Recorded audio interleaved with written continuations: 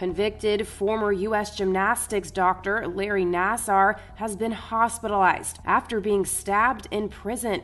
The disgraced former physician, who is currently serving time behind bars for sexual abuse, was stabbed multiple times at a federal facility in Florida during a dispute with another inmate, a prison union leader confirms to NBC News. Joe Rojas, president of the organization that represents employees at the Federal Correctional Complex Coleman, tells the outlet that during the July 9th altercation, the 59 year old was stabbed twice in the neck, twice in the back, and six times in the chest, resulting in a collapsed lung.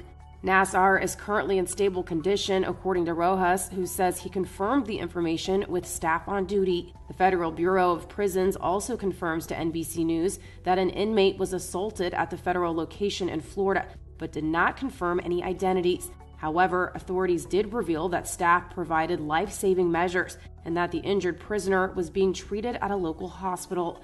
No staff or other inmates were injured, and at no time was the public in danger, officials tell the outlet in a statement, adding that the FBI has been notified.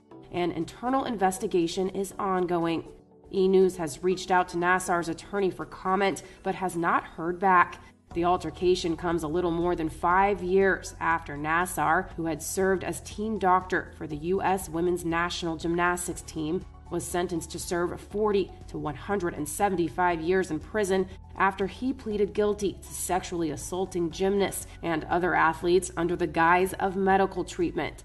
The sentence in the sexual abuse case came just months after he was sentenced to 60 years in federal prison after pleading guilty to three child pornography charges in 2017. At the time of his 2018 sentencing, over 150 survivors came forward and delivered impact statements or had them read by the court, including gymnast Aly Raisman and Jordan Wieber. Gold medalist Simone Biles also came forward as one of the survivors, penning an emotional letter to social media at the time.